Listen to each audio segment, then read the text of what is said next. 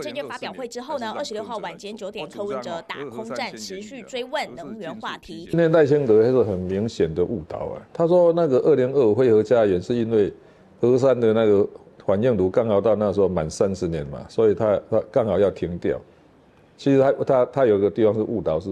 核电厂不是满三十年就一定要停啊，因为它可以再继续用，不是不能用了，只是说如果你要继续使用。